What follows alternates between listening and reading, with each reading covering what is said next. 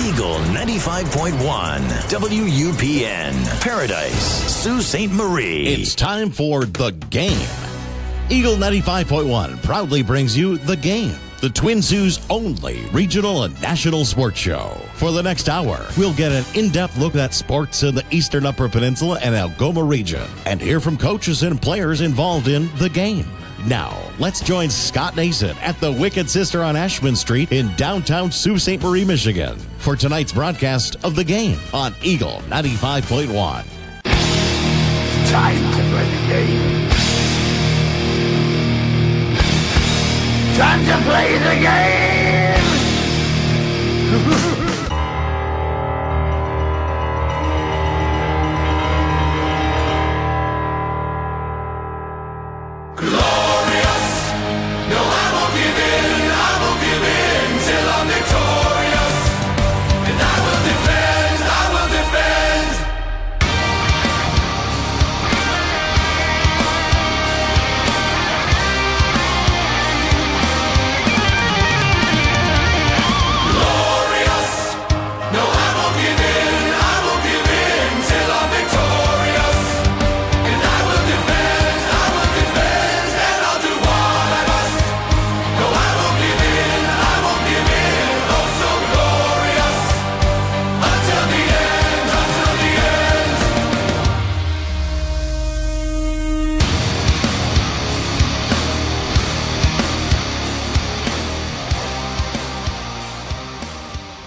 salutations, and welcome to the game on this special Tuesday night edition. Scott Nason broadcasting from the studios of Eagle 95.1 on this Tuesday, April 3rd, 2018. Uh, looking outside the window right now, we were expected to get quite a bit of snow. The snow has not started yet, which I'm very happy with because we have enough, okay? Enough of the snow. Couple special guests tonight, including the gentleman that we'll get to in a moment, Dave McCaig. We also have Butch Davis from the Telegram News and Butch on Sports, and Steve Bigelow, excuse me, Dr. Steve Bigelow, uh, one of my longtime friends. He's a superintendent of Bay City Schools. He went to University of Michigan. He's a big Michigan guy.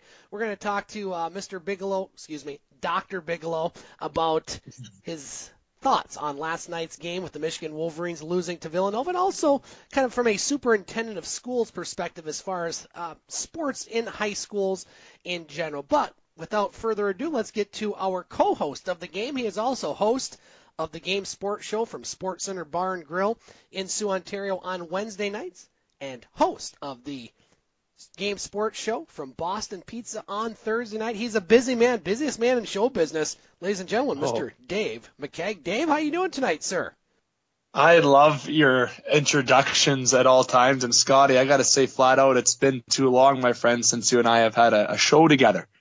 That really has, uh, due to holidays, yesterday being Easter Monday, the Wicked Sister being closed, and due to other broadcasts and other commitments, our normal Monday nights are going to be interrupted for a little bit. Uh, coming up here, probably in May, we'll have a few Mondays where we won't be able to do the show due to yours truly umpiring. And you look outside right now, Dave, it seems like it's the furthest thing from as far as starting the local sports season in the spring. So we don't have anything to talk about there. But, Dave, we do have lots to talk about in the world of hockey. So let's get right to it before we get to Butch Davis coming up here around at 7.15. Uh, first of all, let's talk about the NOJHL. Uh, when we last had our show, you guys talked about it on Thursday on the Game Sports Show from Boston Pizza. The Soo Eagles fell to the Soo Thunderbirds in Game 7 at the John Rhodes last Wednesday night by the score of four to three as Nick Smith, excuse me, three to two as Nick Smith broke a two-two deadlock in the third period as the Eagles and Thunderbirds went the full tilt, and it was the goaltending of Eric Shook that really was the difference in the series. Eagles goaltender Carter McPhail, he played outstanding as well, but Shook came into that game four late, and you really got to like that call by Coach John Parco. Uh, the Th- Thunderbirds were down three to one and many people thought, boy, you know, maybe this series is over. But Shook came in and he shut the door against the Soo Eagles as the Thunderbirds advanced to the NOJHL's Western Division Finals, which we'll get to in, in a moment, Dave. But you know, you said it, Brad said it, I said it. It was going to be a seven-game series, and really, it was one goal that made the difference. A great border battle once again, Dave. Oh, absolutely. You know, as to be expected, obviously, right? And as you just mentioned with yourself, Brad, and myself, and probably the entire panel of the Game Sports Show, and probably the Twin Saults are predicting that, uh, and anyone who's an NJHL fan predicting that that would be a seven game series. That was a very exciting series. The Pullar Stadium was uh, well packed. The John Rhodes was absolutely packed. Uh, the, the, the border battle is in full flight, I guess, between the Eagles and Thunderbirds, all pun intended there. And between the Thunderbirds and Eagles, you know, the Thunderbirds are down 3-1. And, you know, a, a friend of mine, uh, Jaron Rowe's brother, Austin Rowe, who is a member of the Soo Eagles, you know, when they were up 3-1, I know Jaron was telling me that Austin was saying, you know what, the series is not done. The series is not done. And we were continuously saying that as well. And the Thunderbirds battled back to force that game seven as everyone expected and being, you know, down and down and coming back up and winning that series. That's crucial. That is a big momentum booster. And it all started with them believing, uh, and based on what I've dug up with the team and some insiders on the team that they didn't count themselves out. They went to practice and worked just as hard. They didn't change anything. Uh, they just had their mindset continue to f- and focus to win and come back and win that series against a very talented and hardworking Eagles squad and also a very well coached Eagles squad by Jim Cappy as well. And you know what? It's a series that the Eagles probably would like to restart or go back to that game five when they're up 3-1 in the series. However, you know, it, it is how it ended and it was a fantastic series overall and the Eagles should be very proud of what the season has got them. It is a disappointing loss to be up and lose like that. That is to be understood. But at the end of the day, these are two talented teams, extremely talented teams. And it doesn't matter if you're up 3-1, you're down 3-0, if you're whatever the series is, it, this proves that a series is never over until that final buzzer. And this was truly, uh, probably going to be the most entertaining series, uh, in the NOJHL playoffs, in my opinion. The Thunderbirds advance, Dave, to the Western Division Finals, where they have already started that series against Rayside Balfour. The Thunderbirds won Game One on Friday night by the score of two to nothing. Eric Shook once again outstanding, stopping all 32 shots in that game. And then on Saturday, the Rayside Balfour Canadians come back and they win a game in overtime, three to two, as Kyle Linema scored his second goal of the game to tie that series at one game apiece. Games three and four will be in Sault Ste. Marie.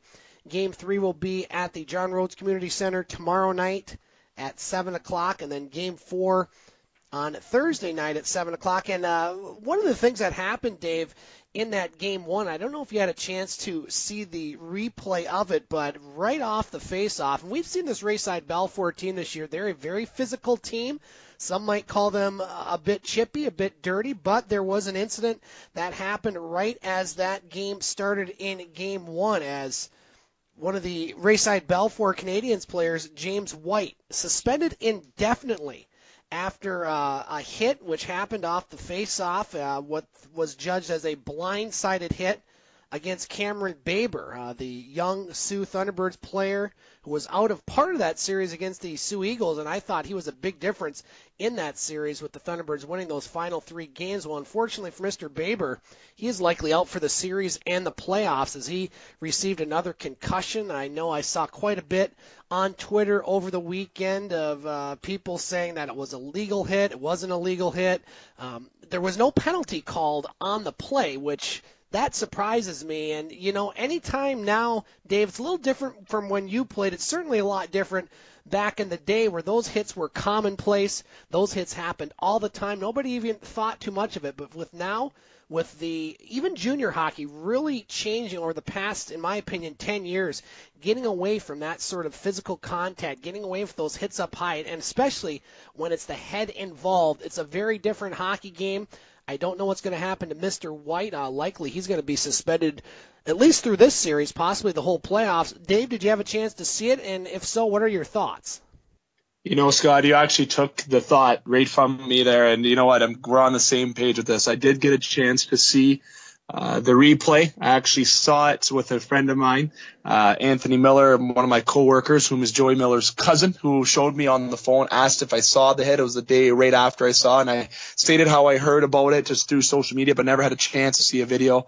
And when I saw the video, Scotty, I, I'm going to tell you, I was the word I want to use, and I hope it's okay, is disgusted. That is yeah. that is the word I'd like to use. Uh, and I can tell you right now, confirm that uh, Cameron Baber has suffered um, has suffered a third degree concussion uh, which is the worst, uh, one of the worst to, or is the worst. I'm not an expertise of the PhD whatsoever, but you know, from what I understand that he, he is for sure out for the season and this can actually potentially end his season next year or even complicate his hockey career going forward. Wow. Uh, so, um, like we hope that's not the case. That's worst case scenario. But when you have a third degree concussion, those are extremely difficult to come back from. Look at guys like Eric Lindros. Yes, I'm comparing to NHL players here, but when you have that type of brain, uh, kind of injury, uh, when you keep suffering more hits and keep taking more hits on the board, boards, the slightest rattle along the boards can re-trigger another minor concussion, another minor, then another major. It's just, it's like a ticking time bomb when it comes to that. So I can tell you right now that he is certainly out for the playoffs and we'd be very surprised if he even played hockey next season. And if he does, I, and I most certainly hope he does. Uh, but you know, from all we can do right now is wish the best going forward for him. But that hit, I can tell you right now, Scotty was absolutely dirty and I am disgusted. I can, you were right. I played at a time, uh, even a bit before my time when I was watching uh, back in the earlier NOJHL days when I was younger and even playing it, like I said, the game didn't change from when I was 10 years old watching it to when I played, to be honest. I feel the game started changing when I was 20. Uh, that, I believe that was 2011. I'm going to go back, uh, seven years. 2011 was my last year and that's when the league started to evolve in more of a faster paced game, less body checks. Uh, people were skating with their heads down more. And I remember seeing a lot of circumstances in games my senior year, you know, that people I can tell you my rookie year would have absolutely got rocked by guys like Trent Lindsay, uh, Mike Bondi, Bronson Kovacs, especially just to name a few guys. Jerry Patingolo, one of my best friends who certainly knew how to lay the body. You know, the, the game was more of a two way rough hockey back then. Not saying we weren't talented. It was, I think we had talent. We had the whole package. I'm not, I'm also not criticizing saying they're not talented. These guys, it's just more of a faster game than what it was um, back previously. And simply put, like the, this kind of stuff did happen when I played, and but it was more in a cleaner fashion. The guy was skating with the with his head down through the middle. Those are those are hits back then that we thought were sort of dirty, but truly they weren't. They were clean open ice hits. The hits that were suffered and I saw back when I played or back in the earlier NOJHL days, these hits were hard bone crushing hits that were actually clean hits. The only kind of dirty hits that occurred in the NOJHL previously were hit from behind, which actually still occurs. So those are the type of hits that you saw were dirty. But if you would have saw this type of hit when I played, I can tell you right now there would have been a bench clearing brawl. I guarantee, I guarantee you that 100%. Uh, nobody would have gone away unscathed. Uh, I'm putting a lot of ownership on the referees. I cannot recall who the referees are, but I'm not going to obviously bash the refereeing. But how they missed that and how they figured that that's a clean hit, it is absolutely not. Um, the individual on Rayside definitely deserves uh, a suspension, in my opinion, right, uh, respectively put, as I feel it was a very extremely disgusting hit. And as I mentioned, it has changed this game between now and before. And you don't see these types of hits anymore. When they are occurring, they they're mostly talked about, and you never even saw this even before in the NOJHL days. You just saw clean bone crushing hits. These are the type of hits that they want to take out of the game in all sports. They want to take it out of hockey. They want to take it out of football. Either all these blind side hits and the hits when, uh, if I recall correctly, with seeing the video, the puck was nowhere in sight. Uh, it, it's nowhere, nowhere, nowhere in sight. And myself, how the Soo Thunderbirds didn't react instantly. Maybe players didn't see it. I'm not too sure, but I can guarantee you as soon as I would have saw my fallen comrade on the ice, I would have known where the puck was. I would have known what have happened. You assess that. They're smart kids. I wouldn't have even thought about the game. You know, you grab the guy, you, you get that energy back and that's the kind of way it was before. Nowadays in hockey, you can't really do that, but you know, maybe someone to drop the, the gloves with the individual, show that emotion right after because, you know, that was a hit that shouldn't have happened, was extremely dirty, uh, was unexpected and obviously it may end uh, worst case scenario uh, a fine young hockey player's career potentially. We hope not. We hope he is back next year or even uh, the year after potentially. Uh, but at the end of the day it's we're worried about the now. We're worried about him getting his health back in order and getting his life together. Because ultimately still this is junior a hockey. This is someone trying to make a stepping stone in a career and to also maybe build a, a scholarship towards hockey but most importantly they're developing skills in life by playing hockey here and social abilities that are going to benefit them going forward. And having these types of dirty plays is not what you would do off the ice or do it on the ice to set the tone and make yourself look big. I call it a coward hit, which is my favorite word to use uh, on the show in a lot of ways. I've described a lot of individuals and plays the word coward, so I think this was a coward hit and also a disgusting hit. And I'm I think it's a deserved suspension and, and out indefinitely. I would consider not having him in the league any longer because those are the type of hits that are no longer fit in the game.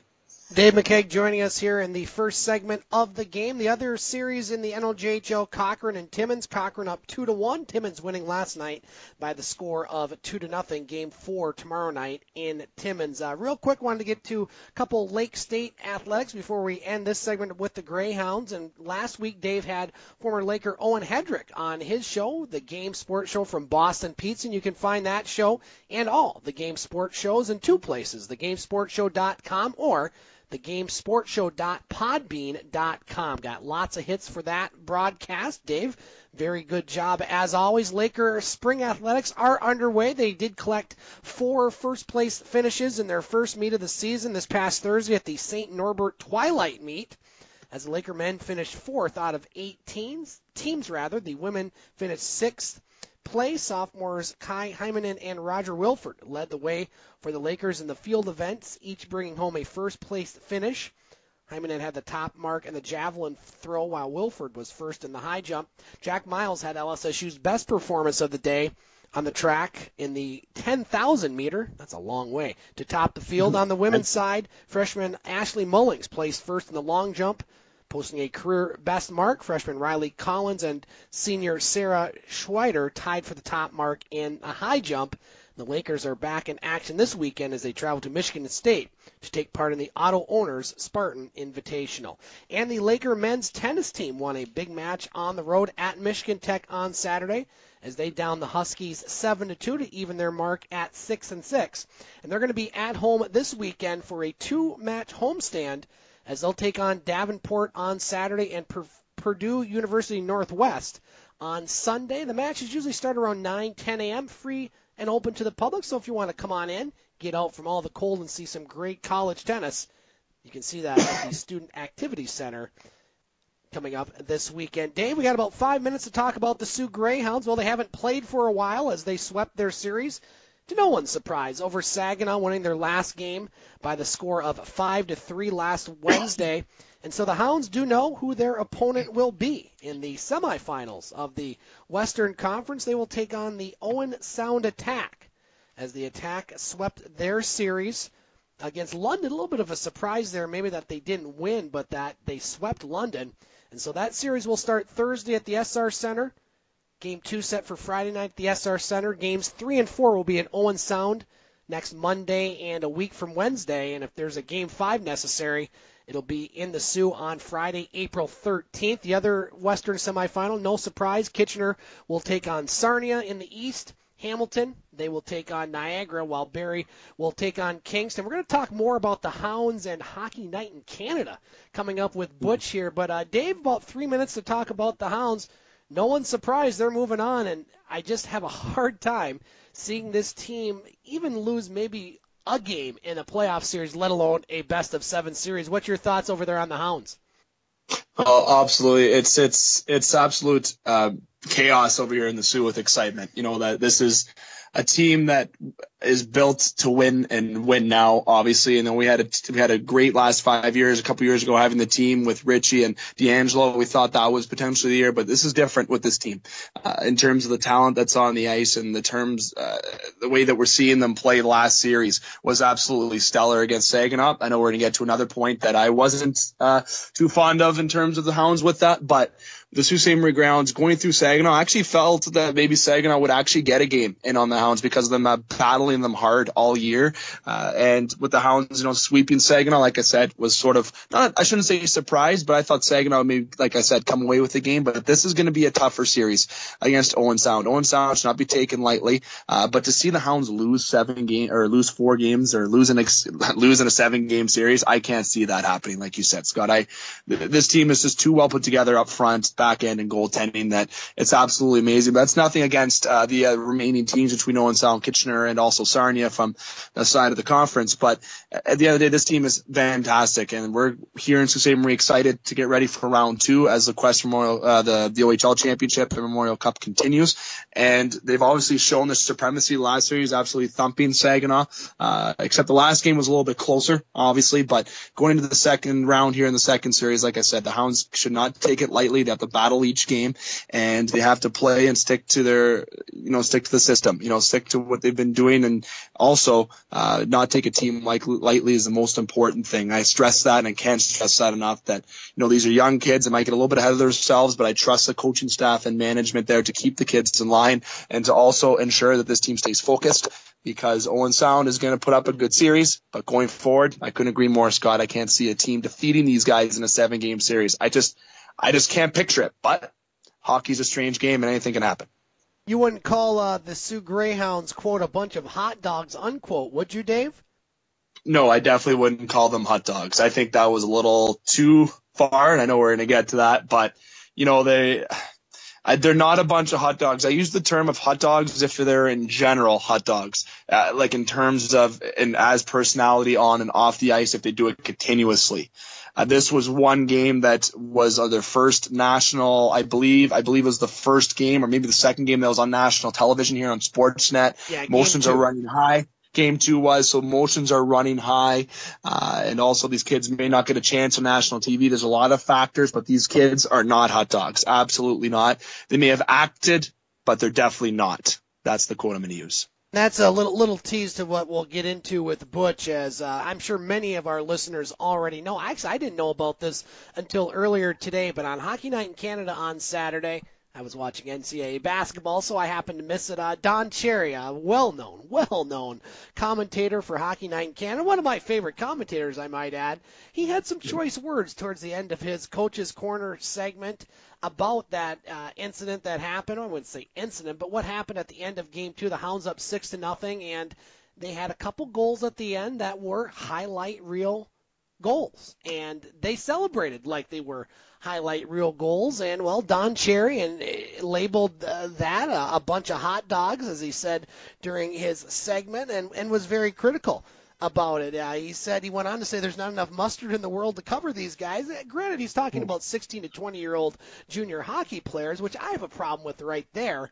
But and we'll get to that more. But he said that hockey gods and karma get people like this. How could these guys do this thing to this goaltender? The poor kid, his parents are watching. Uh, and and Ron MacLean chimed in a little bit, and then he said, "Kids, you never do that. Never be a hot dog and karma."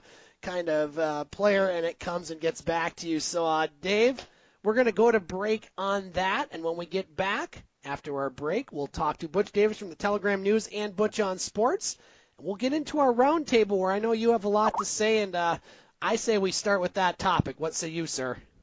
Oh, absolutely. It's definitely the hot topic, especially over here in Sault Ste. Marie with uh, a well respected hockey figure and somebody who actually used to run or actually have a Don Cherry's restaurant here in Sault Ste. Marie that lasted under six months, which is also an interesting twist on the story.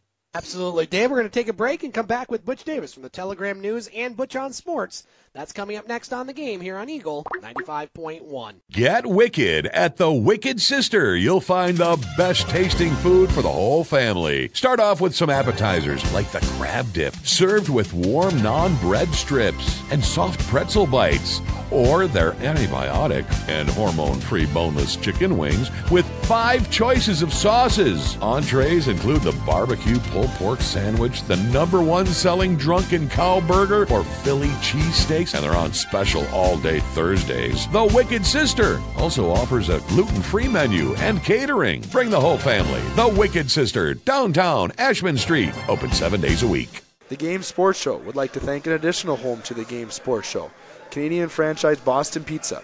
Boston Pizza Sault Ste. Marie, located on 601 Great Northern Road, Sault Ste. Marie. Come in and join Boston Pizza for its numerous specials that are offered. After 9 p.m. daily, come in to Boston Pizza for $9 schooners, $4 rail drinks, and delicious food. Boston Pizza Sault Ste. Marie, you're among friends.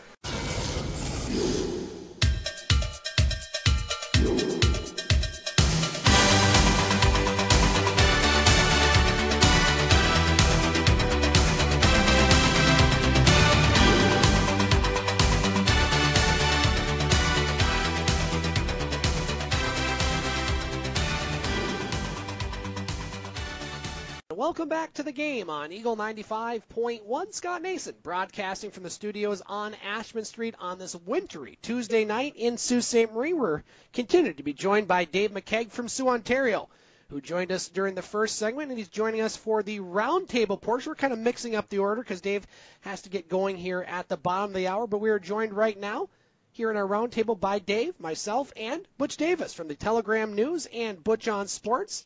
As Butch joins us each and every week to examine the Metro Detroit sports scene as well as other related sports topic. Butch, I hope it's a lot warmer where you're at. How you doing tonight, my friend? It's 33 degrees and raining hard with thunderstorms. Yikes. Yeah. We're never going to get spring, Butch. That's my first question. To hide under the bed until it comes. Shoot. exactly. Well, uh, Butch, we're going to start with the roundtable, and I, I kind of want to pick up where Dave and I were talking uh, during our last segment. It has to do with our local hockey team, the Soo Greyhounds, and it has to do with Don Cherry, somebody I know you're very familiar with. So, want to get you up to speed on what happened with the Greyhounds and with Don Cherry. Well, as you know, Butch Don Cherry is on Hockey Night in Canada, and during the intermission, he has a segment called Coach's Corner. Towards the end of this Saturday's Coach's Corner, he And had some uh, choice words to say about the Soo Greyhounds, uh, the local Mm-hmm. team. Obviously, we follow up here. You're very familiar with Butch. Uh, in their game two, in their sweep over the Saginaw Spirit, there were a couple goals towards the end of that game. It was an 8 nothing game, and you probably saw the highlights that actually made ESPN's top plays on Sports Center. And uh, during this segment, uh, Don Cherry labeled the Hounds, quote, a bunch of hot dogs. During this mm-hmm. segment, he was very critical of the way the Hounds ran up the score and celebrating their late goals following the 8 0 victory over Saginaw on March 25th, which was a national televised game. Um, mm-hmm. he went on to say, Don Cherry went on, on to say, quote, hockey gods and karma get people like this. How could these guys do mm. this thing to this goaltender, the poor kid? His parents are watching. Kids, you never do that. Never be a hot dog, and karma always comes back to you. Now, head coach Drew Bannister here locally in the media uh, had some choice words for Don Cherry. He says, quote, I don't think he watched the hockey game. I think he only saw the highlights. He went on to say if we didn't come out and play hard in the third period and we let them back into the game, we would have been lambasted by the media for taking our foot off the pedal. He went on to say, uh, I played this game and I speak from experience. Those goals were on the spur of the moment. And how can you not celebrate goals like this? And uh, he also went on to uh, be a little critical of Don Cherry and his rock'em sock'em type of uh, videos and, and ways that he talks about promoting fighting in the words of Mr. Bannister. So, Butch, I'm going to throw it to you. Don't know if you heard about that, but what are your thoughts on that whole topic? Well, I actually did see the whole interview Saturday, okay, uh, during the first intermission and whatnot, and it was pretty hilarious there. You know, you don't get to championship level by sitting, taking your foot off the pedal there and taking everything light and easy here. And I think Mr. Cherry had too much cherry in his punch or something. I don't. Maybe it's the wrong suit and co-cocked him. I don't know. I really don't know, but I did hear the comment and he was pretty vivid on the word using the word hot dog, okay? And I didn't see nothing wrong with Soo doing what they did. They were having fun, they were enjoying themselves. Uh, they seemed to be a pretty supreme hockey team for what I saw on ESPN when they picked up those pucks and kind of whipped them in the net where nobody knew where the heck it was. And uh, I, I tell you, you know, some people get paid by making everybody else's life very miserable here. And I don't know if it's Don is having a bad role or something or whatever it may be, but I think the words were just very much so out of place there, okay? You know, I like his rock'em sock'em, what he calls a, a hilarious kind of attitude there, you know, and um, he's pro this and pro that, and, uh, you know, he speaks very highly of the Army, the Navy, the Armed Forces, the works. Uh, but sometimes this game is not about, you know, how many people you can put in the hospital. This game is about having fun. And when you take the fun out of the bad boy here, it's really, it's not too much you look for there. But, well, poor Don Cherry, you know, let's send him some, uh, I don't know, a pillow or something here so you can think about it. I don't know what to tell you. Dave, uh, you and I were talking about that off the air uh, before we went on the air about Don Cherry. Uh, possibly you're, you're you're trying to see and work your connections to get him on one of your shows in Soo, Ontario. And, and I'm just going to chime in real quick before we get to you, Dave. Uh, you know, I guess the I don't agree with Don Cherry in this. I mean, the Hounds have so much talent that they can do these sort of things. Drew Bannister isn't the type of coach that's going to run up the score on someone, but you're in the playoffs. I mean, you're fighting to get to the Memorial Cup. I mean, the Hounds are dying for a Memorial Cup. It's been 25 years, and they are built to win this year. And so I don't have a problem with what they did because of the scenario. I didn't think it was anything where they were running up the score. The fact is, they just have a lot of talent and a lot of players that you're going to see very soon in the NHL. Several players, and that are going to be very good players in the NHL. And the thing I don't like that Don Cherry did is we're talking about 16 to 20 year old kids, and many of these guys 18, 17, 18, 19 and they're having fun. And really, to me, that's kind of why you play the game to have fun. I don't think they were rubbing it in anybody's faces or anything like that. I mean, could they maybe have taken exception if you're Saginaw? Sure, but you know what? You got swept, so it is what it is. You have winners, you have losers. There's no participation medals in the Ontario Hockey League. Dave, I know you got a lot to say. Your thoughts before we get back to Butch and his topic.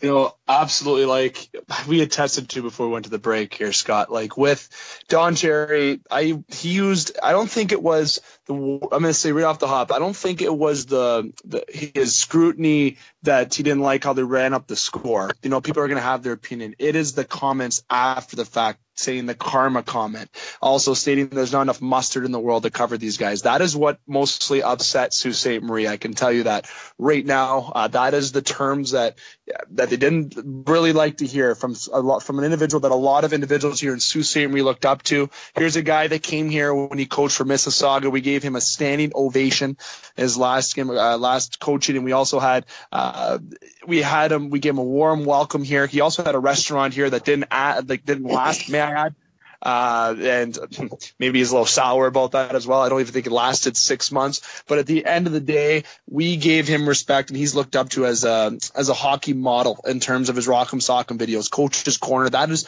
his theme song for Coach's Corner, defines hockey night in Canada a whole lot, especially when the Leafs are so are playing on that Saturday. So that respect in terms of him having his his uh, his outlook in terms of how they were maybe shouldn't have ran up that score or he didn't like how they showboated.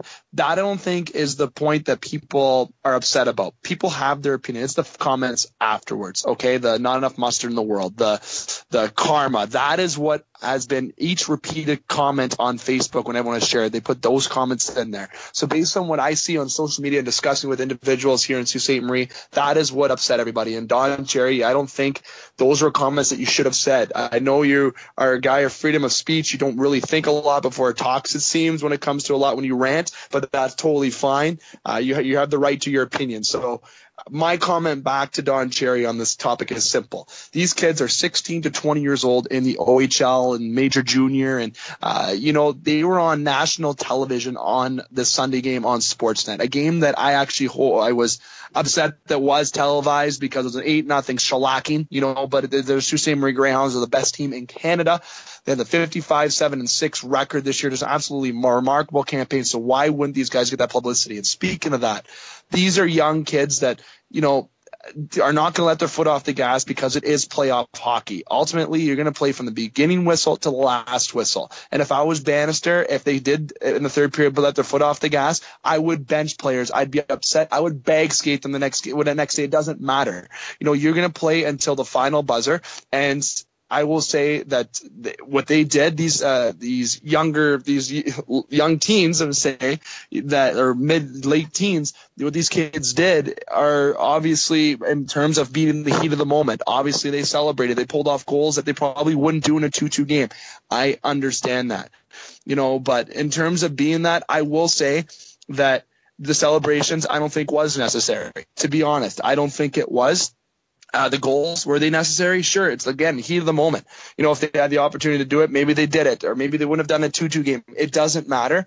I am not a fan of celebrating uh, after when you have a big lead. I never was. That's how coaches taught me, and a big coach with that was Jim Cappy and Don Gagne. To be totally honest, who spent six years coaching me, so I can I can tell you from experience that's the way I was taught with upbringing. But when I scored a goal, a very nice goal, I would celebrate.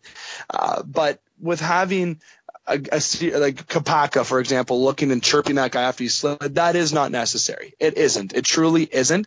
Show that emotion. Show that happiness that you scored the goal ultimately. But, you know, try not to celebrate like that. But again, on the catch 22 of it is they're on national television. These guys are playing junior hockey. They're the best team. They're, they're flowing right now. They're excited. They're happy. Sure. It wasn't necessary to showboat. Yes, I agree with that. I feel like they didn't have to do that. The goals, were they necessary? Maybe, maybe not. I'm undecided with that. But Don Cherry, the topic that we're discussing here, calling them a bunch of hot dogs, calling them the not enough mustard in the world, or karma's going to get them. That is completely disgusting to say about that. It does not define these kids. These are good kids that do very good stuff in the community here in Sault Ste. Marie. And that one game doesn't define, that score doesn't define who they are as kids. These are young kids that are going to learn to mature and they're excited that they're winning the game. They're excited to score that big goal. Sure, like I said, to sum up everything, showboating was not necessary at that current time. And I, especially with Kapaka, I feel like that should have been, or um, I think I'm, I think I'm pronouncing his last name wrong. I butcher a lot of last names, but I feel that they should have not done that. But at the end of the day, they did do it. And it doesn't make them bad or cocky hockey players. It they're showing that emotion. They're happy to be there. They're showing their talent and they should be enjoyed to watch. Don Cherry should have kept those last comments to himself, but him having a right to say that they showboated, he didn't like how they showboated, he should have left it at that. He didn't have to go into full details after comments that are being scrutinized. And I'm hoping that he sends an apology here to Sault Ste. Marie for those comments after the fact, uh, with mustard and with the karma, because that was completely unnecessary. Uh, sure, the kids' parents are watching, but they're watching a hockey team that is superior and also a very good hockey team that was caught up in the heat of the moment being on national television in the middle of an OHL playoff game. And obviously the excitement's there and the immaturity's there because these are kids. These they're going to grow up eventually, but you know what? I'm happy the Hounds did what they did uh, in terms of you know playing hard to the final whistle. I wish they wouldn't have showboated, but I'm not upset that they did. I can understand because of being in those particular situations, you get excited. You scored a big goal in terms of how nice it was, not a big goal in terms of being overtime, but a goal that was a highlight reel. Why not enjoy it and enjoy that moment, especially on national television? Let's let's go to you next uh, for your topic, and uh, I know Dave mentioned that you know Don Cherry sometimes uh, goes on TV and, and and speaks without thinking. Well, we have that in this country too. It's called President Trump. So, uh, but what's your topic for tonight? You know, Dave, uh, you sure you got everything off your chest there? You know? I think I did. I even timed it. I was a little bit over my usual time limit. I don't like speaking that much, but you know, you don't I had like to had to be that much. Come on. That's a good one here. Uh, really, you, you don't wish kids bad luck. You you know Absolutely. We All kids love we to love, us. right, Butch? that's right. You take care of the kids here, man. Ye- Yeah, you whip their absolutely. parents and Sports Center. That's who you whip. Uh, anyway, gosh. Oh, the I'm quite sure everybody saw the play in the first game of the home opener of the Detroit Tigers here. And just a funny thing happened on the way to the road. Instant replay done went snafu. Not in snafu in baseball, but snafu in in hockey. It went snafu in um in in the NCAA. It's when snap been when snafu in football here.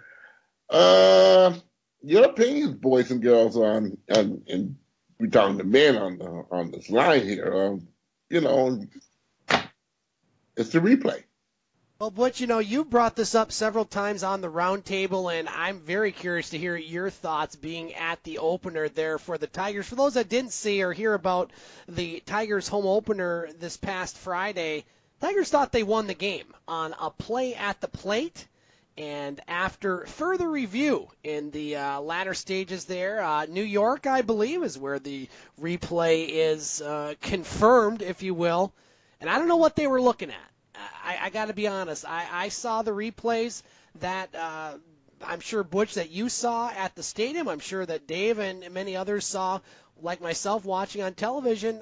I didn't see it. I, I didn't see what what's what's the term in uh, in substan- in, uh, you need proof. That's what I'm trying to look for. You need proof, visual evidence that it has to be maybe not without a shadow of a doubt, but it has to be a pretty good idea. If you're going to overturn something, it has to be more than if you keep the call as is. And you know, Butch, you said it. We've seen a lot of cases where these instant replays just affect games, and in this case, affected outcomes. I mean it's one game, but you know, Ron Gardenhire got kicked out of the game, and I'm glad he did because he should have given uh, holy heck, and he did during that one. But you know, to, to have a replay so much to affect a game like that is not what instant replay is for. I don't think instant replay is being used in the most effective manners. I, you know, you see so many of these games in basketball. I mean, geez, some of these last two minutes will end up being 20 minutes, and then we're not talking about timeouts and intentional fouls. We're talking about every time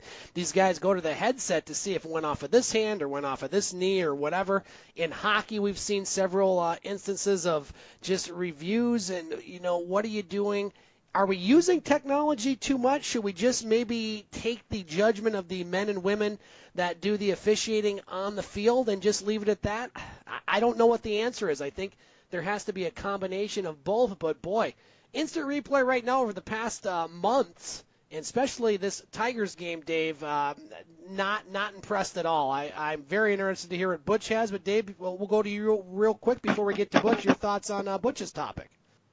You know what? Honestly, in general, just the replay has not been consistent in a lot of you know different sports, and not just in the world of baseball, and, but in the world of hockey, um, in the world of you know football. If you want to go there, it's just to say quickly, uh, since I'm probably still catching my breath here about that Don Cherry topic. Uh, at the end of the day, the referees uh, or the umpires need to get something straight. The leagues need to get something straight. Something needs to be done with these officiating calls after the math. And the consistency is the big factor in terms of the National Hockey League, especially. But in terms of baseball, it's also that inconsistency and also those wrong calls. I feel uh, that baseball is a little bit of a different sport, though, in terms of it being that's the uniqueness of baseball is that live action. It is being in that heat of the moment. That's the way the you know America's pastime has been with baseball. It's almost like it doesn't want to be changed by the public, but it needs to be changed. It needs to be focused that if there are going to be replays, if this is going to be a part of baseball,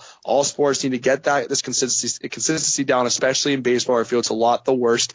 Uh, you know, and I think at the end of the day, to get this fixed, it's the umpires getting on the same page, having being having develop communication skills and communication with the managers that are at the game, how they're going to call the game and keeping it consistent. That is the big word I'm going to use here is consistency involving the umps, involving the refs, whatever the sport may be. I'm kind of branching to all areas here, but at the end of the day, that consistency is huge. And I think with baseball, if they're going to follow that replay, if they're going to incorporate that and try to get it better, that's where they should start.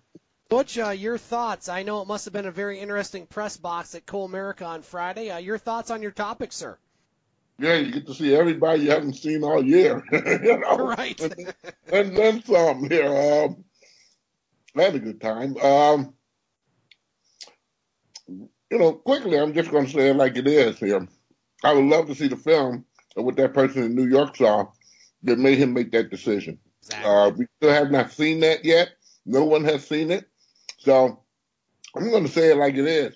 New York made a great big mistake here, and I'd like to know how the accountability factor goes into play for these uh, gentlemen who make these decisions for Major League Baseball in Secaucus, New York. Okay, and being saying that here, there was no evidence, no inconclusive evidence um, I think that's what you was looking for.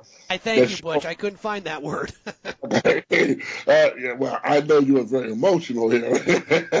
I can't find things. I can't find my socks right now. Uh, you know, I, you know, I tell you, really and truly, um, there's going to have to be some brain work in here. There were many people going out to say and saying, you know, long as Las Vegas is involved, we're going to have days like this. Well, I don't want to be that harsh on this particular situation here, but it has to be some accountability on, on what you saw and whatever you saw. I think the general public needs to see it too, so they won't, you know, be forgiveness as maybe no one is at this present time here. There was a mistake made in that particular. We I saw where the glove was waving toward the shirt sleeve, the bottom but bottom of a shirt sleeve here. And if that's the significant call, we didn't see the feet, which I saw the foot. And when he was sliding in, before he went and swung his glove over to his sleeve here, I saw his left foot already touching the plate. If that's the case, the guy is safe. I didn't see anything else that will give him or draw him to the conclusion that this guy got tagged out. You know, and again, you got some hardy announcers who really didn't look at it either. as carefully as we looked at it there to find out what was the defined area where he was talking about where he was being touched out here. And, and so it's there, you know, do TV need to do a little better job in instant replay? I think so, because really the fans are really dependent on that.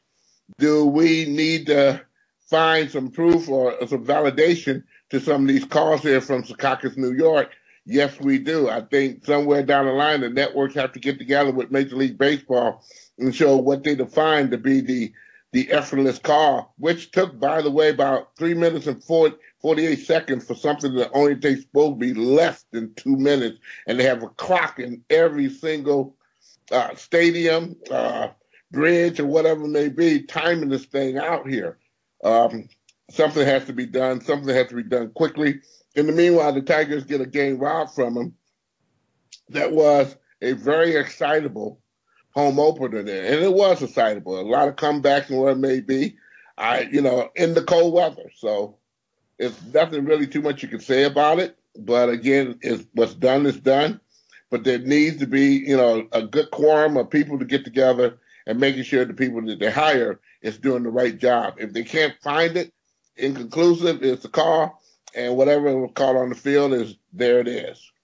Great topic, Butch. And uh, Dave, we're going to have to uh, let you go. I know you have some studying you have to do, but before we let you go, Butch and I will continue here during the next segment talking about the Detroit sports scene. We'll also talk about the Michigan National Championship game, and I want to kind of have a roundtable discussion with Butch on a certain topic in college basketball. But Dave, uh, before we let you go, give us an idea of what you have ahead in, I should say, what you have in store for your shows over in Soo, Ontario, and your thumbs up and thumbs down for the week, sir.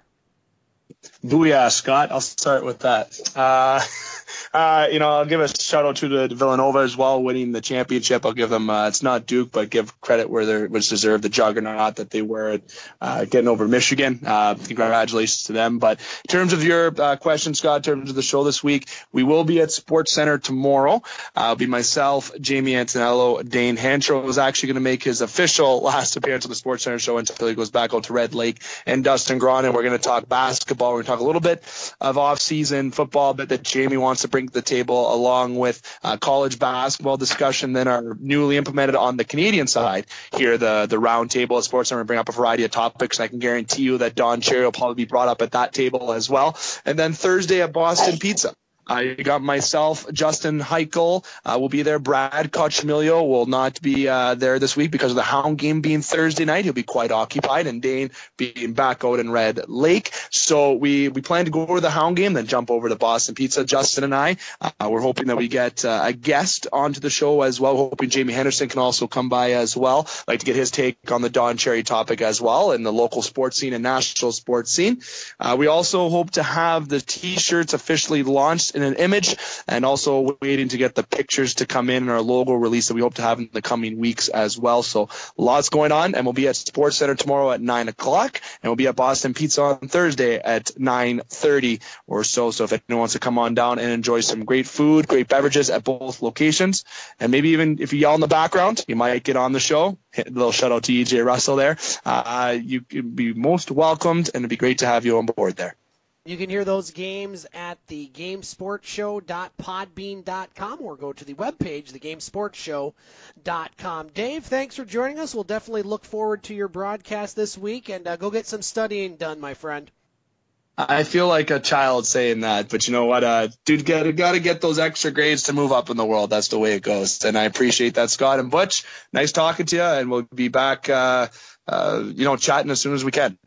All right, Butch, yeah. uh, we're gonna we're gonna lose Dave. Uh, final thoughts for him. Hey, uh, just be good here, man. Uh, you, you're striking up gold here, man. I got to get on one of them shows one of these doggone days here.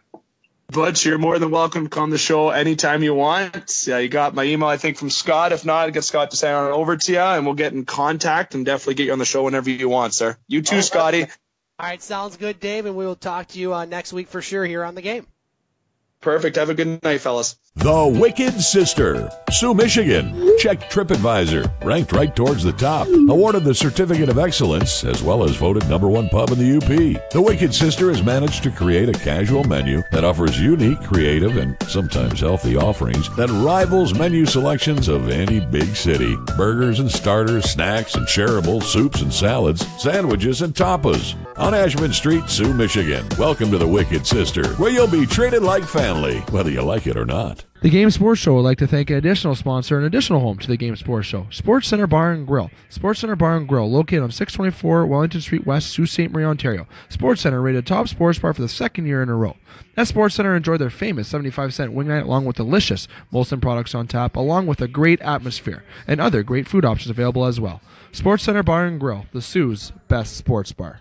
Thank you for tuning in to the game. Heard Monday nights from the Wicked Sister on Ashman Street on Eagle 95.1. Also online at radioeaglesoo.com and the podcast page, The Game Sports Show www.podbean.com. I hope you're enjoying the broadcast. Now, if you want to hear more of the Twin Sault's only local, regional, and national talk show, I encourage you to visit our website at thegamesportshow.com and you can tune into a pair of broadcasts of the Game Sports Show from Sault, Ontario. Our co-host here on the game, Mr. Electric Avenue Dave McCaig, broadcasts the show on Wednesday night from Sports Center Bar and Grill in Sault, Ontario, along with his regular contributors, Jamie Antonello, Justin Heichel, and Dane Hantro. They focus on football with their In the Pocket segment, talking about the NFL, along with basketball and the NBA, and other sports, including tennis, golf, soccer, and the WWE. If you like hockey, Thursday nights are for you as the Game Sports Show is broadcasting from Boston Pizza in Sault, Ontario with Dave McCaig, along with his regular contributors Justin Heichel and Dane Hantro. Now, this show focuses on hockey in the wintertime and baseball in the summer, and will include guests and interviews from local and national figures. Once again, you can hear three versions of the game at our website, thegamesportshow.com, or at the podcast page, thegamesportshow.podbean.com. Also on the podcast page, you will find selected audio broadcasts of Soo Eagles home games, Brimley Bay's basketball, and Soo High Blue Devil hockey, along with game contributor Butch Davis and his broadcasts of Butch on Sports. You can also find us on YouTube. Look for the Scott Nason channel. Thank you for listening and keep it locked here to the game for all your local, regional, and national sports talk that you just can't get enough of.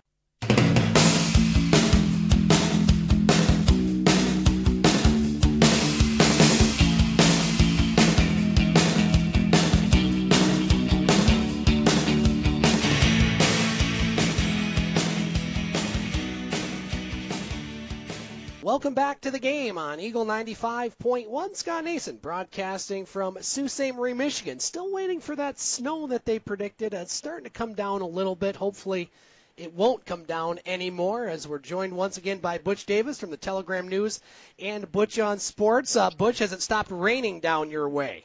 Not yet. and we need spring bad up here. We still got snow on the ground. Oh boy, that's that's we're so cold as I don't know what here. It's been freezing around here, buddy. It, you know, the Easter Bunny went hid here. You know, he he went home to eat at Joe's here. I don't know, man, but uh, Easter was pretty wicked here. I was here too, Butch. Let's continue here as uh, we had to do the roundtable a little bit earlier, and uh, coming up after our segment, we're gonna have a special guest, one of my longtime friends.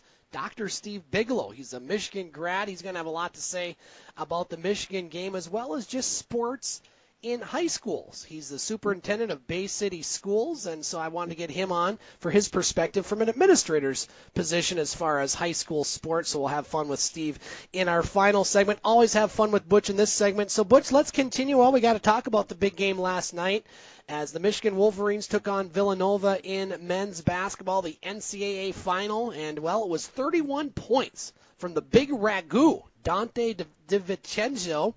I think I butchered that name, a la Dave McCaig, as he came off the bench scoring 31 points as Michigan lost by the score of 79 to 62. Villanova winning their second title in three years. Michigan has now lost four of their last four trips to the final game. Uh, Butch, did you have a chance to watch that game, and what are your thoughts? well, folks, it, this is a case of somebody who wants to win it bad enough versus we're just glad to be here. Yep. And it looked like the University of Michigan was just glad to be there. They kept it competitive for a little while, up to maybe 25 points or so there. But after that, Villanova got their juices flowing there. And this guy, they just couldn't seem to have uh, an idea to guard this guy or knock him down or do something here to kind of make the, the game kind of rugged because Villanova was doing an excellent job on Michigan, making it rugged for them. Um, and all in all, uh, I guess the best team won. Villanova is the best team of college basketball, maybe. Uh, I'm quite sure there's a, uh, a bunch of doggone teams are in line saying that we can beat that team if given the opportunity and the chance. And again, I've been harping this particular conversation on because I haven't been very happy with how they seed and how they pick and what they do and how they do it. Well, again, these are the two that were left. It was a pretty doggone good game for a minute, but out of the, all the games that we saw during these last three weeks, where they were very exciting games, they were edge of your seat game. This is a big, big reason why people watch uh, the Final Four, watches the Sweet 16, watches the 64, and also watch the maybe the pre games of the two, four or five teams uh, going at it, trying to get into the doggone dance. So I'm telling you, 66 other teams would, would love to be in Michigan's shoe right now. They were not. So I think Michigan can tip their hat off and say they're a job well done. They can't really uh, take off. And, and again, this goes to the media too. To kick off on the Big Ten the way they have, and to treat the this particular conference, the way they have been doing there, it just is is outrageous. But again, uh, congratulations to Michigan and also to Villanova for a great game. Butch, I wanted to add one thing during the roundtable. We didn't have enough time, uh, and it has to do with college basketball, and I want your thoughts on this. Uh, this year's NIT won by Penn State. We're not going to talk about the NIT, but what I wanted to talk about is they did some rules modifications. Now, you see some of these modifications in the women's game, and congratulations to Notre Dame for winning their title. But one of the things this year's NIT did is they made a few rule changes. And I want your thoughts on this because I think these are all very good ideas. Uh, first of all, they moved the three point line back to the international line at 22 feet, 1.75 inches, almost two feet back from where it is in college basketball. They widened the free throw lane from 12 feet to 16 feet, which is consistent with what the NBA uses right now. They don't have two halves. They had two, or excuse me, four 10 minute quarters as opposed to two 20 minute halves. What I like is the teams will shoot two free throws beginning with the fifth foul of each quarter. So unlike college basketball, where it's after the seventh foul, it resets after the quarter and starts over. So you have less free throws, and the shot clock resets to 20 seconds after an offensive rebound instead of the full 30 seconds. Now the NCAA playing rules process has a two-year cycle, and so they won't have any changes this upcoming year. But the next possible rules change date is May of 2019. So I guess I want your thoughts, Butch, as far as some of those ideas, any of those that you are for, or against, or just your thoughts in general? Well, I was for everything but the clock. Okay, the clock is that's a that's a that's a wacky one. I think the clock needs to stay at 30 seconds. Okay, I agree. That's one. Uh, now, being the line being pulled back, uh, yes, that has been a discussion from a whole lot of media people that I have um, I have talked to, and yes, I think it's time that we pull that line back to the NBA level here, okay? Maybe not the international level per se. If you want to tease it a little bit, you can put it the international level, but these kids are NBA inclined. That's what they see. That's what they connect with. Uh, let's put the line back to the NBA uh, line, the free throw line and whatnot. That was perfect too. That's close to the NBA uh, rules and regulations. The quarters broken down. I like that considerably because again, we don't have to worry about every five or ten of or, or six minutes these automatic timeouts being given or, or being taken away from teams because they want to run commercials and therefore foul. Okay. Uh, I think it's sickening. I think it's stupid. Uh, the 10 minute quarter is quicker, is, is more robust. Um, and, and again, you can kind of set yourself up more of a intelligent game in, in, instead of running the team down to the ground in in 20 minutes there. So I'm all in favor of those rules, exception for the clock. I think the clock should stay at 30 seconds. I agree with you, Butch. Let's uh, move on to baseball. You talked about opening day with the Detroit Tigers. Well, the Tigers were in action this afternoon, and another impressive starting pitching performance by Matthew Boyd today, as uh, he only gave up one run but the Tigers didn't get any runs, and they lose for the second time this year by the score of one to nothing over the Kansas City Royals to drop to one and four on the season. Uh, Butch, it's been tough playing conditions, and while the Tigers haven't had any breaks this season by far, your thoughts on the Tigers' uh, start so far? Well, I blame the Ilitches there for building that stadium the way they did, and Yeah. again, I will always say that you know people don't put too much thought in what they do and how they do it sometimes. They took, thought is is making money, and I can understand that completely because I'm quite sure the 600 people that came to the game today, which was a tragedy here, okay, uh, sure enough, they bought a lot of hot chocolate instead of a beer, you know. and that costs way, way less here. So, and they probably watered that down too here. But but uh, enough of being salty in Comerica Park. Uh, I you know the thought process is again, and and I can't understand why a stadium was not built in the complexities such as maybe in Milwaukee, uh, Houston, um, Seattle, which I'm very familiar with. Those they have they build a stadium due to the climate uh, activity. When you have baseball players or human beings for that matter to come always from down south where they're enjoying 80, 70 degree weather constantly every day of the week for two months. And they come back up north only to freeze, okay? And I tell you right now, when you come back up north, 50 degrees is, is freezing to someone who's used to 80 and, and 85 and 90 degrees here. And I, I, I, the, the whole matter to me, it, it smells. And like the Tigers of years past, exception for exception of a couple teams, I say a couple, uh, they've always had the slow start, meaning the weather, okay? They seem not to hit, not to, not, you know, the pitching has always been halfway decent, but the hitting has not been, um, to up to par. Now you can't play rock'em sock'em robots in the cold, okay? You have to somewhat confine your game to a small ball here, and that's something that right now I'm waiting for the Tigers management uh, to get itself in gear for that. If they're going to win some games with the players they have right now, which are still getting used to each other per se, uh, and and it shows in these first four or five games they have played this season that these players are not used to each other uh, as far as signaling, uh, as far as uh, catching balls. The Iglesias situation was a bad situation with Reyes uh, tripping over each other. That was non-communication at its finest. Uh, I think he really underestimated that Iglesias has a lot of range as a shortstop and will go far out in the outfield to catch a ball. This guy doesn't know that, although we're taught in baseball that the outfielder, when on a fly ball, has the right of way of catching a ball. Now that saying there, you know, that's where the management has to come on in and take charge of what's going on.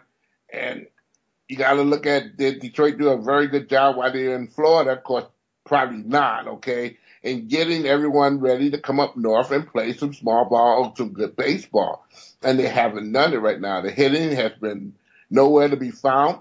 Uh, one particular day, uh, I say um, a couple games back, where the Tigers actually really did some good hitting. In the first game, they did some really good hitting, but again, that is bad also what is bad that if you don't get to see it or pay any attention to it is men left on base. The Tigers are leading, leaving a whole heck of a lot of men on base. The first game of the season, uh, you know, they lost that game, but when you have 10 men left on base up to nine innings here, that's a bad situation. And that all falls on the manager not being able to produce or get runs to be scored if you got to place a bunt in there or something of element of surprise, you have to do it. Runs are costly when you don't have them, and you let them just go away. And the Tigers right now, they're going to be some growing pains, but hopefully, hopefully the growing pains are not that bad where they all jump on Ron Gardenheimer because people are ready to jump on him uh, from the first day because he didn't come out for his interview. He was claimed he was too mad to be interviewed, but again, you know, when you got veteran uh, uh, media people here in Detroit and beyond, okay, to come in to watch the game, they want to, they want accountability to be done, and uh, many of the media, it was all right with me, of course, but again, many of the media people were very disenchanted by him not showing up for the interview on that first game of the season. Butch Davis joining us on the game. Uh, Butch, two teams that are doing a lot of winning over the past week are two teams that likely won't be playing postseason. As at least the Detroit Red Wings won't be playing in the postseason. They have won three in a row as they won their last game at home against Ottawa two to nothing. Jimmy Howard getting his first shutout of the season. They're in Columbus tonight, and the Detroit Pistons winning a couple games this weekend. Uh, their last one at Brooklyn. The Pistons uh, still have playoff possibilities, albeit uh, very slim ones. They'll host Philadelphia on Wednesday. So, Butch, uh, two teams that we haven't seen win a lot this season seem to be winning when maybe it doesn't count, uh, at least as far as the Wings. Your thoughts on both the Wings and Pistons, if there's much to say at this point? Well, the Wings in in this particular situation, you kind of tip your hat and say hip hip hooray. You know, maybe these two guys are finding themselves, and hopefully that they spend a good winter of getting to know each other a lot better, uh, having a good idea of who's going to be on the team and who's going to be uh, not off the team per se. Where these guys can get off on uh, maybe some time and during the off season and do some skating and some polishing up and when they bring it into camp in Traverse City, they're ready to go and uh, know each other a lot better there. Uh, and we're talking about the young kids who are playing now. A significant amount of those kids are going to be back. So, and the shout out for Jimmy Howard, who's played fairly well for the Red Wings this year. You know, he can't help the mistakes and the things that have not been status quo for him during this particular time of season, for that matter, the whole season at large there. But again, uh, we I kind of tip my hat off for them. Now for the Detroit Pistons per se, they have a dilemma here, second to none. Uh, there's a little bit of rivalry, and or I should not say rivalry, but a little bit of uncertainty here in Miami, Florida, as um, Whitehead was sat on the bench the last 21 minutes of the game when he should have been in there. And some interviews were done after the uh, particular, and seemed like he is pretty upset with Mr. Whitehead, that is, of the Miami Heat. And meanwhile, Detroit Pistons are going about their merry way, trying to sweep the rest of the of the of the schedule they have, if they have any. They're only four games back now from Miami, who holds that eighth position in the playoffs there. Uh, this is going to be kind of wacky there. But uh, again, someone has to be failing pretty miserably for the Pistons to get in. I mean, if Pistons get in, that means they have to win the rest of their game. Are they winnable? Yes, they are. However, uh, Miami and uh, I think um, the other team is Milwaukee. Milwaukee right now are holding fort, and if they don't make any mistakes or at least win three of their next uh, four or five games, they should be secure, and uh, the Pistons season will be over. Butch, uh, time for one more topic before we get to our thumbs up and thumbs down. And when we have our show Monday, we will be at the Wicked Sister this upcoming Monday, back at our normal home, back at our normal time, back at our normal night. We'll have watched WrestleMania, as WrestleMania mm-hmm. will be on Sunday from New Orleans. SmackDown about set to get on the air here in a few minutes. Uh, Raw last night, uh, not a whole lot of real big news that came out of Raw. The Undertaker still did not make an appearance. Uh, likely will, probably in my opinion will make an appearance in New Orleans to take on John Cena. You had the big uh, uh, the press conference, I guess you can call it, with Kurt Angle and Ronda Rousey and Triple H and Stephanie McMahon as uh, Ronda Rousey gets put through the table. And a lot of mm-hmm. other things that are going on. Uh, Butch, we talked about it last week, but we're getting ever closer. The road to WrestleMania just five days away. What's your thoughts going in? Um, excitement, but I think the WWE is doing too much of trying to sell the bad boy, which tells me they're having a problem with maybe people watching this on the WWE network there. and it's reflecting from SmackDown and Raw doing a, too many uh, studio bits instead of showing out some great, great wrestling there. That's how you're going to get them to watch uh, WrestleMania there. They're not going to watch it through you trying to sell uh, these matches, which are taking 10, 15. I mean, the first uh, uh, part of the show, is like we see 17 minutes were gone from the Stephanie McMahon and uh, Ronda Rousey and uh, Kurt Angle deal there before they went to commercial break or Yep. put somebody to a table. Um, if this is all we waited for here, they could have did that in the beginning five minutes and that's it and let them go about their business. But, and you're going to see that probably on SmackDown tonight, a lot of selling of the product that, um, basically they're trying to get everybody to watch. But again, um, it's going to be pretty wicked. Uh, the big man, per se, he came out there looking at the bronze and the brains, okay? Yep. that was, that's some of the things I'm talking about right now. Because unless this guy got a twin brother here, it's not going to be real here. You know, I, I, I was hoping they name um, a partner which can somewhat be considerably out there. Because you know doggone well he's not going to play a, a, do a tag team match by himself there. Um, unless some dirty tricks go above and beyond the Call of Duty at WrestleMania, which I don't think a lot of people going to really be able to take in under consideration. But ah, it's about now, you know, let's let's get the show on the road. That's what I'm looking at right now here. I kind of agree there. I agree completely again, Butch. It, it is time. It's it's been a long road, and you know the, the, something needs to happen because I think yeah. in a lot of cases they're just kind of going through the motions in certain uh, parts exactly. of these storylines. Let's get to our thumbs up and thumbs down for the week, Butch, and uh, both my thumbs up have to do with family members. First of all. Thumbs up, uh, who is in the house tonight, my son Vance, as uh, he won yet again our bracketology for college basketball, picking Villanova to win the national championship after picking North Carolina last year. This is his first two times filling out brackets, Butch. He's he's picked the correct uh, team to win twice. The last time I've done it, 2003. exactly, that's what I say. So uh, I'll be using him. And a uh, thumbs up to my mom and dad, Roy and Janet Nason. They actually had dinner tonight down at the Wicked Sister, our normal home of the game, which will be back on Monday, celebrating their 46th anniversary tonight. So happy anniversary, mom and dad. And thumbs down just to this weather. It's April for crying out loud. I'm probably going to have my entire umping schedule, possibly in the month of April, wiped out because they are nowhere near having fields uh, ready for play. Heck, we got to get the snow off the fields here in the UP. So a thumbs down to Old Man Winter, Mother Nature, whichever one. Enough. We need some sunshine. We need some warm temperatures. Heck, we need temperatures above freezing up here, Butch. Butch Davis, your thumbs up and thumbs down for the week, sir. Now, now, now, don't do the Don Cherry. no, no, we won't.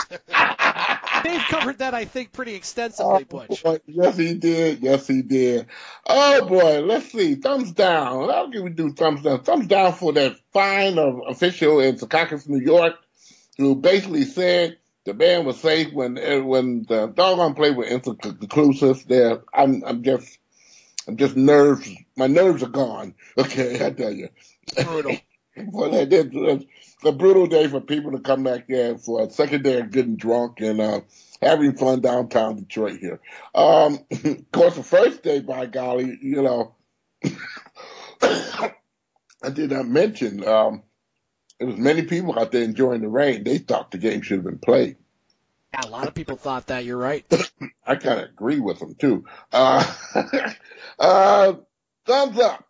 Uh, I think thumbs up has to go definitely to um, hmm, girls basketball here. You know, the girls basketball game, Notre Dame, and uh, I watched. Um, oh, what's the other team here? Uh, Mississippi, Mississippi State.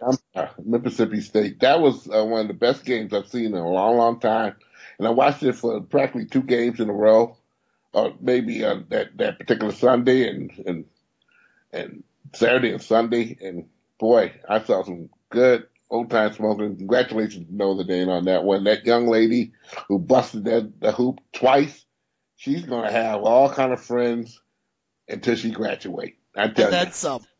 Yeah. Oh yeah. Oh yeah. I want to meet her too. Shoot. and me get a taste. Oh boy.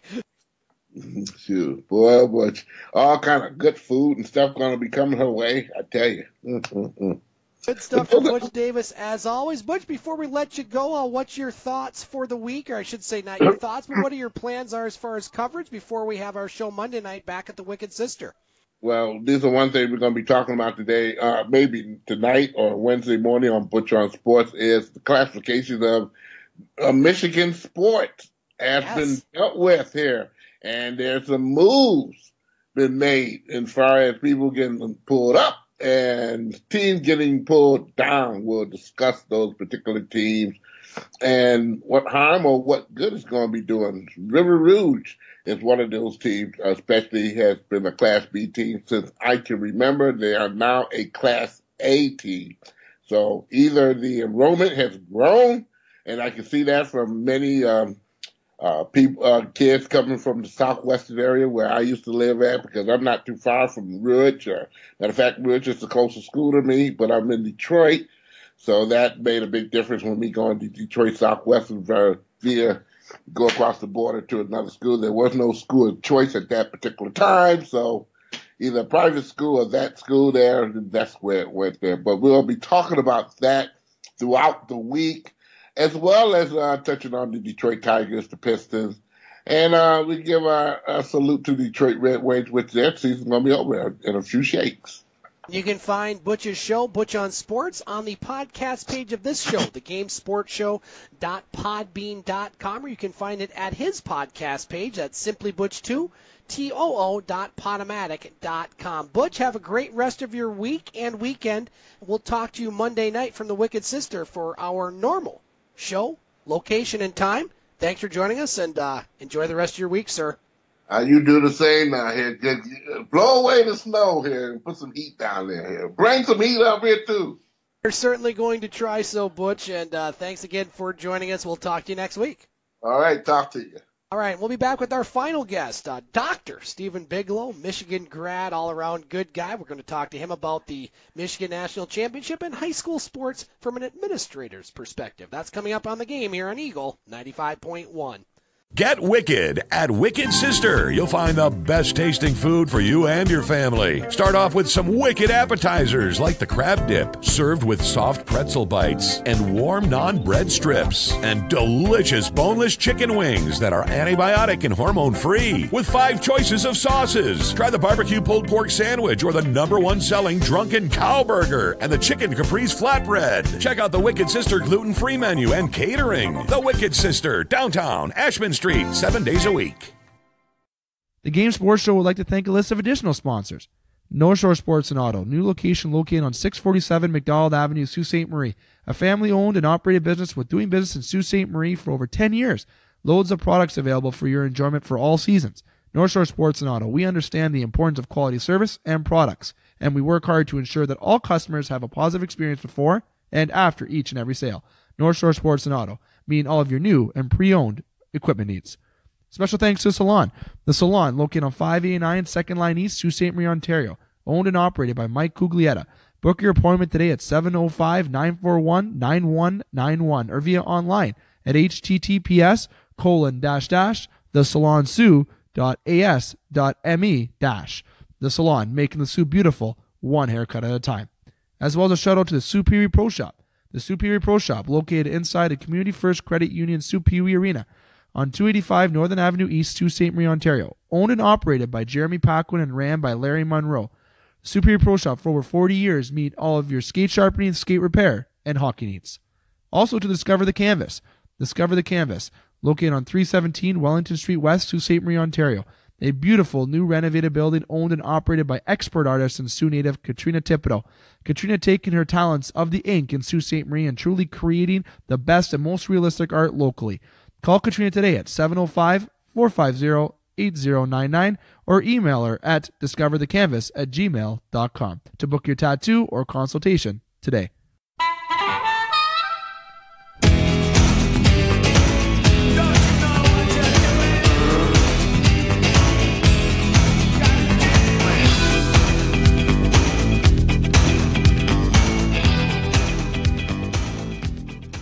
Welcome back to the game on Eagle 95.1. Scott Nason broadcasting from Sault Ste. Marie, Michigan on this now snowy Tuesday night in early April. Want to thank our guests so far tonight, Dave McCaig from Soo, Ontario, and Butch Davis from the Metro Detroit sports area. And now we are joined by Steve Bigelow. He is a superintendent, or the superintendent, from Bay City for the Bay City Public Schools. He's also a longtime friend of mine, actually one of my longest running friends, going all the way back to elementary school. Uh, first of all, Steve, thanks for joining us here on the game. And uh, boy, do you miss this northern Michigan weather in April? Oh, I, I miss having snow at this time of year so much. Actually, the, the weather's not a whole lot better uh, down here right now, but yeah, I, I do. I, I do want to clarify though. We were actually friends before elementary school as well. It started in uh, 1979. What do you think of that? I started in the Carter administration. I had no idea. yeah, that's right. That's right.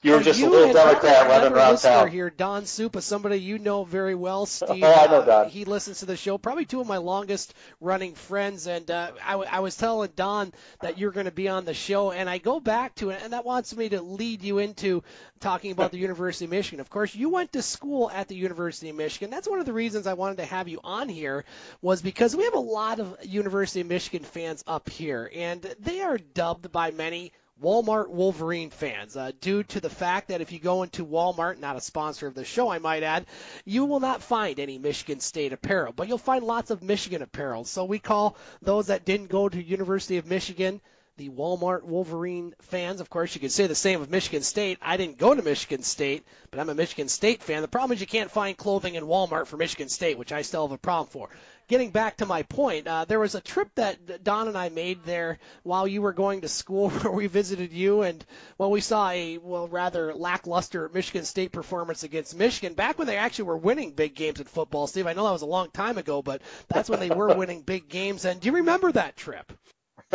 I remember that trip very well. And I, I got to tell you, I actually grew up as a Michigan State fan like you, though, because, you know, my sister went to Michigan State. And uh, I, I didn't become a Michigan fan until I actually ended up going there. But I remember that trip incredibly well. And uh, it was a great time to be going to school there as well because Michigan did not lose to Ohio State then. Um, they ended up getting the national championship in 98 um, I mean, it was just an incredible time, and they had a hockey powerhouse at the time too, which I'm hoping they will again this year. We'll have to see.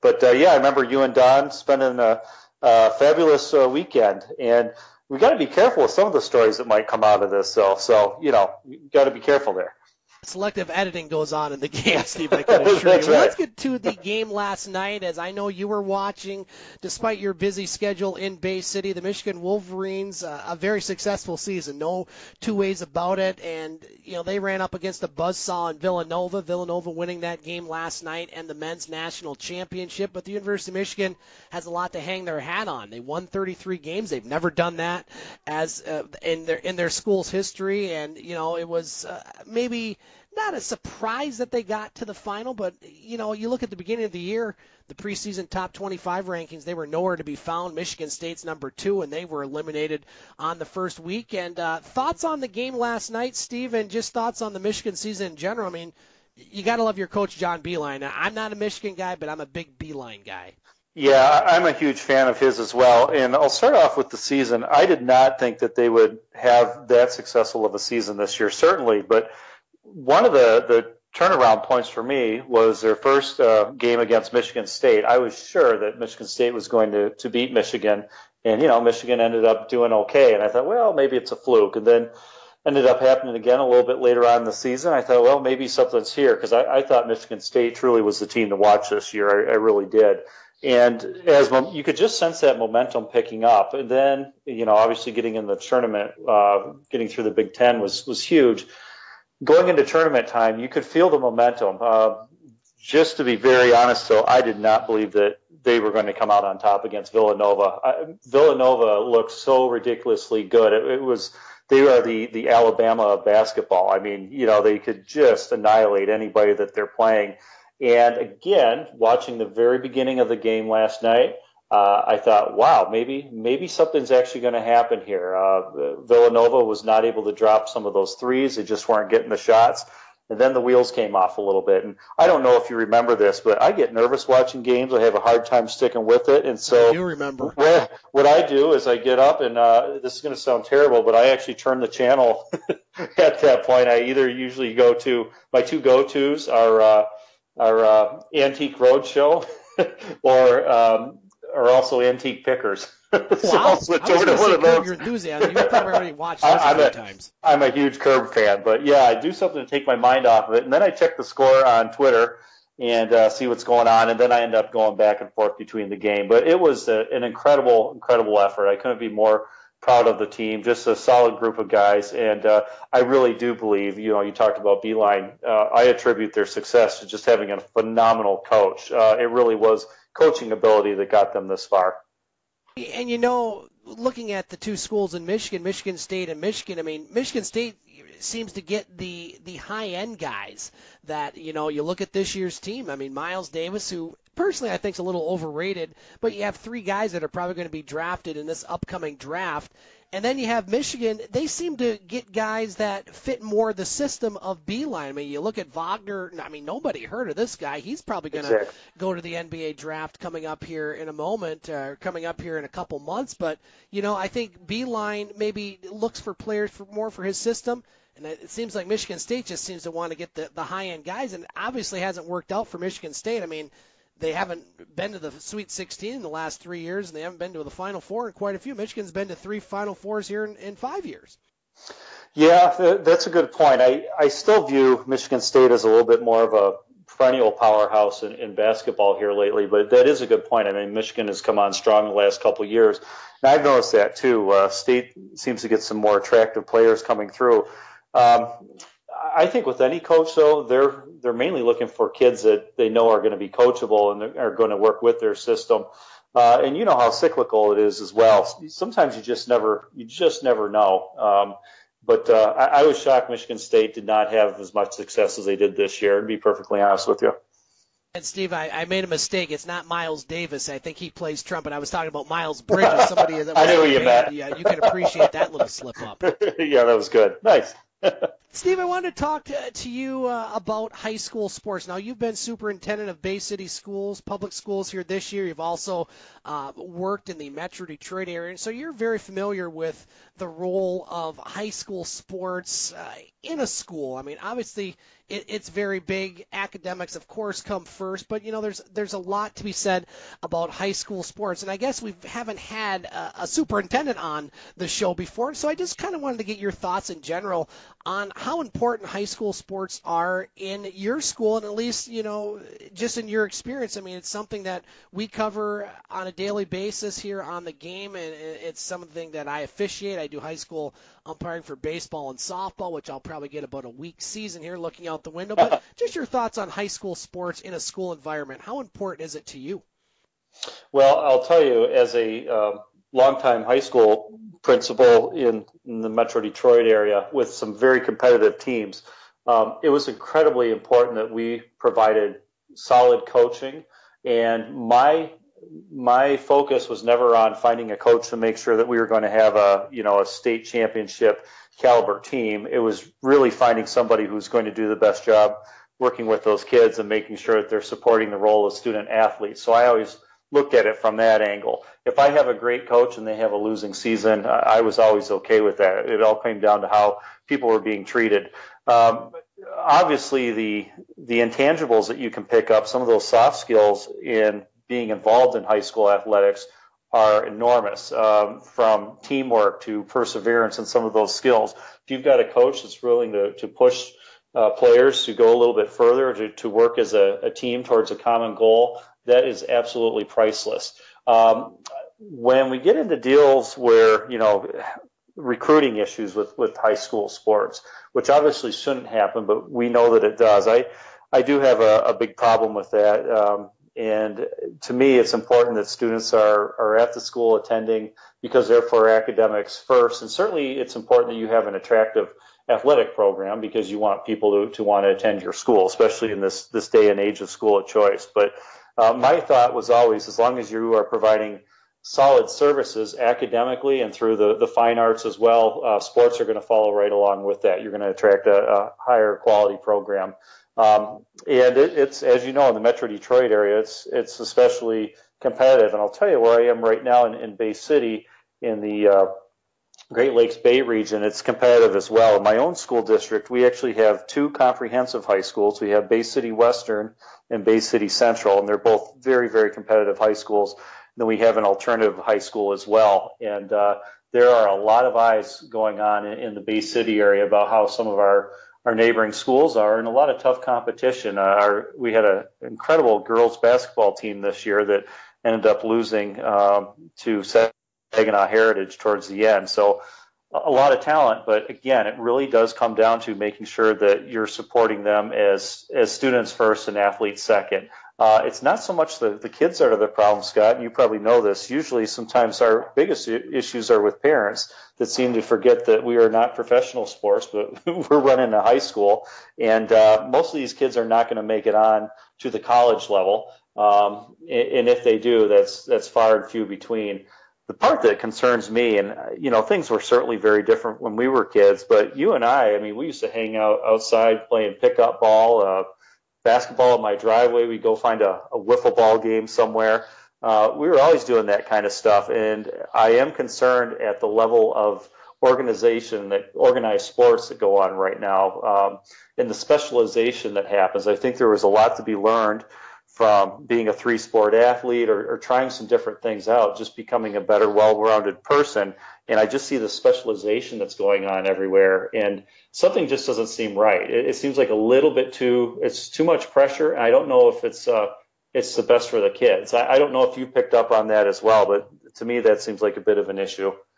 It's funny you say that, Steve, because I was having the same conversation with my parents here over Easter and, and talking about hockey. Now, you played basketball, I played yep. hockey. Poorly, I might add, in my case, playing. I hockey. wasn't that great at One basketball. Things that happened then compared to now as hockey was during the hockey traditional hockey season. You started maybe in October, you played till March, and you were done. You had the occasional hockey camp that you might go to Lake Superior State University or over to Soo Canada, now there's spring hockey leagues, there's summer hockey leagues, there's fall hockey leagues, and you know this town, Steve. Uh, we, we're called Hockey Town USA. No offense to Detroit, but we were the original Hockey Town USA, and the amount of politics and drama that goes on in our local hockey association would would shock probably many of your listeners that might tune into this show down in the Bay City or Metro Detroit area. And and I think you hit the nail on the head. It's there's the special specialization. Uh, you don't have a lot of those three sport athletes. Uh, you do in the smaller schools around here because there's just not a lot of athletes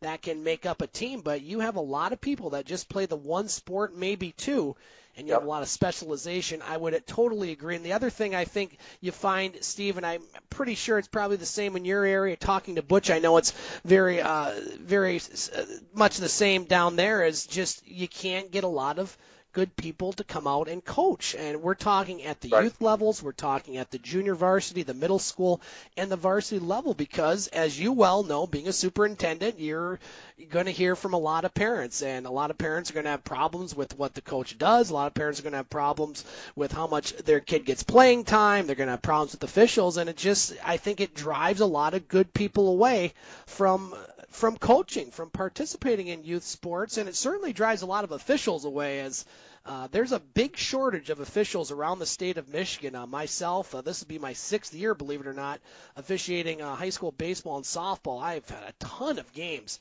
and it's even more uh, problem, I think, in the basketball and football. A lot of these guys that have done it for a while are retiring, and a lot of guys that are younger than me don't want any part of it because you know you see it at the lower levels, especially little league. I mean, you, some of my yeah. worst officiating experience have been in little league tournaments and what Absolutely. have done there. So I know I covered a lot of ground there, Steve, but uh, you know I think you hit the nail on the head. Specialization is is really hurting. I think high school sports. Well, and just the idea of the sportsmanship from the parents. I mean, you, you talked about you know your experiences in little league. Uh, last thing you want to do when you're out there trying to help kids is have to parent parents. You know, they're out there just saying incredibly destructive things. Uh, and I'm not sure what, what good that does. One of my most frustrating experiences, first of all, you talked about the political side of hockey. I found that that's with, with every sport, and it's it's amazing how deep it, it goes. But uh, you know, from from AAU uh, athletics that are pulling kids away from some of the school programs that are out there, it it, it really is. Um, I, don't know. I, I have I have a lot of problems with some of the experiences because you end up having these. Sometimes you end up with high school teams that are really a reflection of the AAU team, just simply playing at the high school and moving through. And I wonder what that does for, for some of the experiences of kids who maybe back in the day would have had, had an opportunity on that school team. And and are now shut out from it as well. One of my worst experiences, though, Scott, um, was actually when I was a principal and I had to uh, fill in uh, to supervise a high school soccer game. And I'd never seen anything like that. It certainly changed from when we were uh, little playing soccer, but my gosh, the behavior of the parents, I, I ended up uh, kicking out an entire sideline of, of parents just because the, just because the behavior was so ridiculous. But what shocked me is it almost seemed to be accepted in high school soccer. It, it was kind of like you know when you watch TV and you're seeing people take dives and and which drives me crazy and and fake injuries that that's somehow seeped down to the high school level and the parents are are going along with it. So yeah. it is it's it's very very frustrating. Steve Bigelow joining us on the game. Uh, Steve, I want to thank you for coming on, and we would love to have you on again from time to time, maybe to talk about things going on in Detroit, Michigan, or just high school sports in general. You got it. It's a it's a real privilege, and uh, I love talking to you too. Yeah, it's, absolutely. It's to, uh, great to hear from you as always, and uh, we'll uh, let you know when this show is posted. It'll be on later tonight. You can share it with your listening audience. And uh, Steve, we appreciate you being on. Uh, stay warm down there. We'll try to stay warm up here, and we'll talk to you soon on the game. Okay, great. Take care, Scott. And thank you, Steve. And uh, before we let you go, I want to thank each and every one of you for listening tonight. I want to thank Butch Davis and Dave McCaig for joining us. Don't forget, Dave McCaig will have his show from Sports Center Bar and Grill on Thursday night, rather Wednesday night, uh, talking NBA, talking all sorts of sports. And then Thursday night from Boston Pizza, Dave and the gang will have another show talking about sports, NHL, NOJHL, OHL, Major League Baseball, and more. And we'll be back at the Wicked Sister on Monday night at 6 o'clock. And you can listen to all shows on thegamesportshow.podbean.com or by going to the webpage, thegamesportshow.com. That's going to do it here from Eagle 95.1. We'll talk to you next Monday on the game. Have a great night.